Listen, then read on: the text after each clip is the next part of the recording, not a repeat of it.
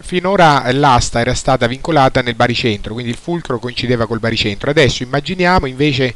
di eh, vincolare l'asta in un punto diverso dal baricentro come per esempio è, eh, vedremo dopo meglio insomma, questi esempi qua eh, per esempio in questo disegno vediamo che l'asta è vincolata in un punto che non è il baricentro è un punto che si trova qua e sull'asta agiscono due forze, una applicata in A e una applicata nel baricentro che è la forza di gravità, la forza peso dell'asta. La cosa eh, che voglio far notare qui, dopo riprenderemo questo esercizio in dettaglio, però la cosa che voglio far notare qui è che i bracci eh, vanno misurati a partire dal fulcro e non dal baricentro. Per esempio, eh, il braccio del, di questa forza di FA eh, è questo qui,